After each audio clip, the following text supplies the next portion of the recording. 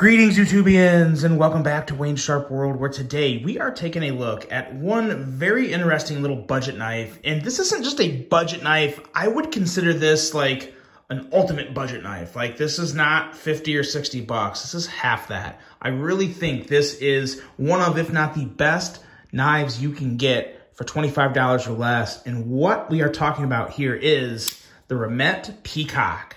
Now, before I go any further into this review, I'd like to thank you guys for tuning in today. If you like what you see, please do me a huge favor, hit that subscribe button, follow along, and I will continue to bring you the content. Now, let's take a look at some overall specs on this knife right here. We have an overall length coming in at 7.48 inches, a blade length coming in at 3.07 inches, and a blade thickness at 120 thousandths. Blade material on this guy is 9CR18 MOV. Nothing too special, but it is also what they use on most of the Sencut, so not a bad steel by any means, but definitely more on the budget side of things. We have a drop point style blade, a flat grind with a handle length coming in at 4.41 inches. Handle thickness is at 470 thousandths, and as you can see, this is FRN material. So um, some people really don't like FRN, some don't care. Is what it is. This is FRN. We have a liner lock locking mechanism and a user of a right hand only tip up carry. Lefties are going to be really upset about that, especially due to this price point, but you know, I, I always like to side with the lefties, but I, I would be remiss to say if I did not think a uh, a knife that was set up for right hand only looks a lot better on the show side. There's there's a lot of pros and cons to that depending on uh, which uh, which angle you're coming at it from but we have a weight of 3.17 ounces and the price. This is where, this is one of the two best parts of this knife. Uh, the price, you are looking at $29.99, but I have a 15% off code that is in the description of this video below, and that 15% off will knock this knife down to $25.50. But wait, you can save even more. Let's say you really like this knife and you want to get either two or you want to get um, two different colors, like one for you, one for your girlfriend, or one for you and one for your significant other of, of any sort. Um, there's options. You can get a two knife bundle that will come with a black and either a baby blue or a pink scale version. So those packages come in at, I believe, 50, 58.99 or 59.99. But then after you can also use the 15% off for that. That knocks it down to $47.60, which makes these knives $23.80 each. So, depends if you need one or two knives, but whether you're paying $23.80 or $25.50, that is one hell of a price for this knife. And I'm going to tell you guys why here right after some size comparisons and uh, see just how it stacks up to some other budget knives. Let's see here. Let's bring out uh, the good old Vosteed Raccoon. I think just about anyone would agree this is one of the best EDC budget knives of all time. And, and so is this, to be totally fair. The Kizer T1, as you can see, measures up very well with both of those knives. And uh, got one more set for you here. Let's take a look at the Civivi Elementum. And then also another knife, probably in terms of aesthetics, the knife that reminds me most of this, and it's still not super close, but uh, the Ferrum Forge Stinger. I, I, don't, I, I just, I get a little Stinger vibes with this, and I, I mean, obviously they're radically different. Um, no choil or anything. It, I think it's just a level of sleekness between those two. There's your lineups. As you can see, they, they all measure up relatively similar. Um, but yeah, just just the overall vibes from the Stinger really do carry over into this Peacock, just in a more budgety appearance. I mean, there's no denying that the FRN brings a, a, a, massive budget appearance to this. But I tell you what, before we get to talking about this handle, let's talk about this blade because it is a very nice one. It, it just looks great in general. You have some really nice grind lines with the swedge up here, like the grind lines for the flat grind, and it's just a nice blade shape. It really is. The very high satin finish, but it looks good and very minimal branding. Blade steel, brand, that's it. And Remette is relatively small. It doesn't look terribly big.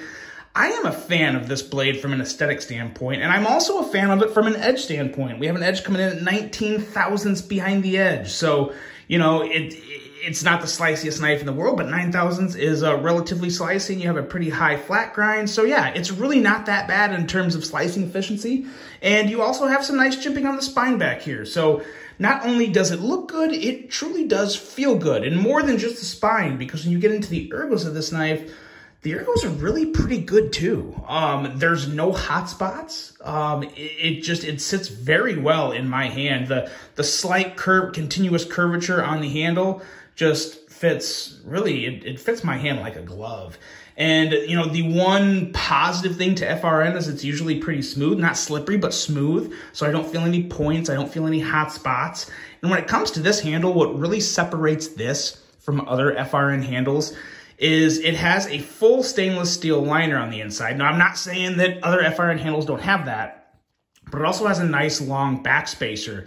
And that makes for one ridiculously sturdy handle. This is probably the most sturdy FRN handle I have ever handled in my life. I mean, this is ridiculously strong.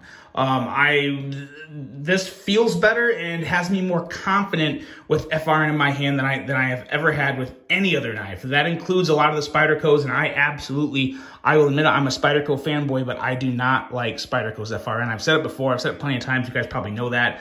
I don't like it. And I don't say, I'm not saying I like this FRN. Um, FRN will never be my first choice. I'm not trying to sugarcoat this.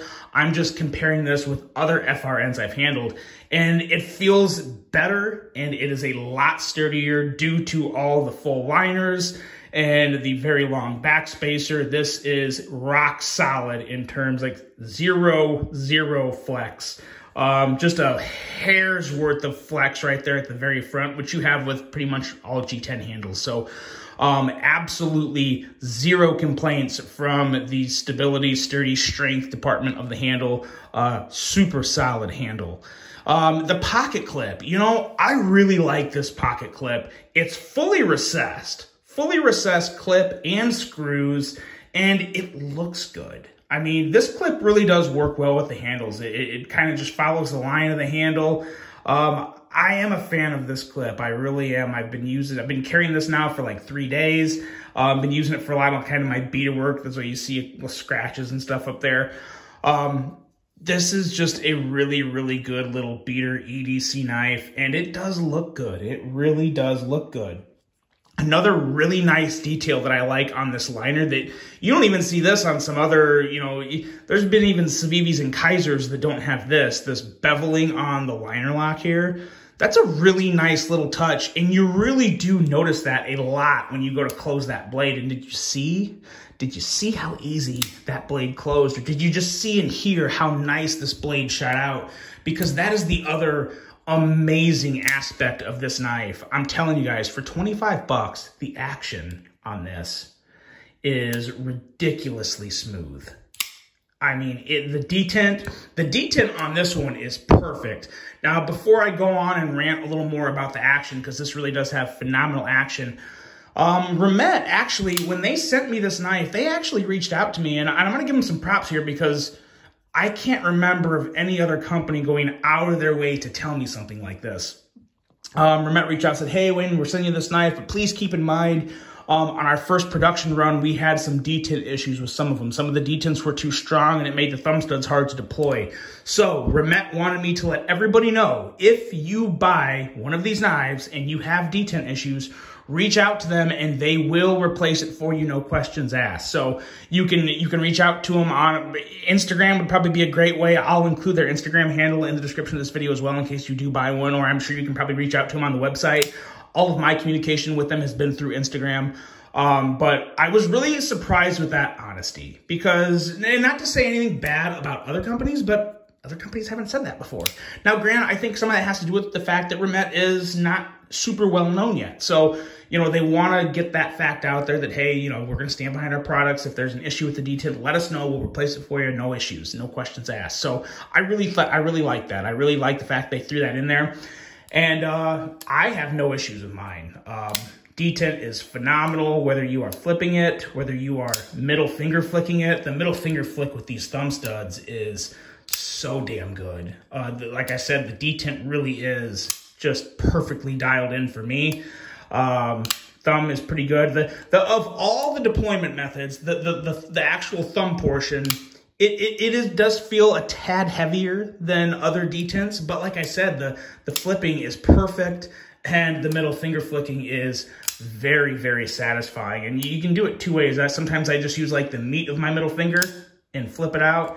And then sometimes I'll actually dig my whole finger behind it with the nail and kick it out that way. There's, there's always different ways to do that. But the action on this knife, I'm telling you, and I'm not sugarcoating this, guys. You guys know I don't BS you. I'm, I could not be more serious when I see the action on this knife. Now, Grant, I know there's, again, you got the FRN, it makes it look budgety. I get it, I get it, yada, yada. The action is as good as just about any Kizer or Civivi I've ever handled. And I, goes out saying how much I love Kizer and Civivi. So, two phenomenal, the two best brands out there in the, the budget realm of EDC knives. Um, in, in terms of an action standpoint, this is right up there with them. I, I, could not be more impressed with the action on this knife. Now, some people are going to look at the FRN and be like, you know what? I just can't do it. I don't want it. I, I, get that. I get that. I'm not trying to sell you something you don't want. I'm just saying, if you are okay with the FRN and you like the looks of this knife, don't let anything else steer you away from buying it because it is phenomenal for the materials, the price, the action, at the end of the day, I, I do truly think this is the best knife you can currently get for $25 or less. And I, I really do mean that. Um, I'm, when I first got this knife, I thought, oh, okay, you know, it looks good. And the moment I started deploying this blade, I'm like, holy crap. This is, I mean, it, it is in top-notch smoothness. Um, even in the close, I mean, it's just, it, it's excellent. It is absolutely excellent. Blade centering is perfect.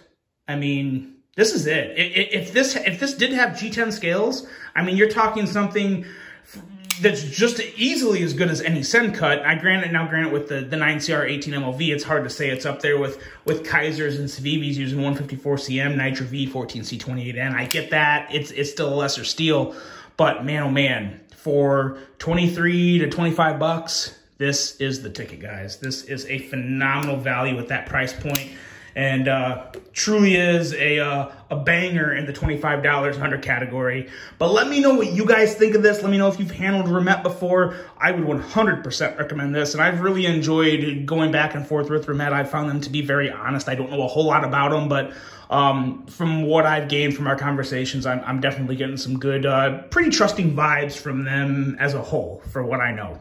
So that's it, guys. Let me know what you think of the Peacock. I really hope you enjoyed this one. Hope you have a great rest of your day. And until the next one, I'm out.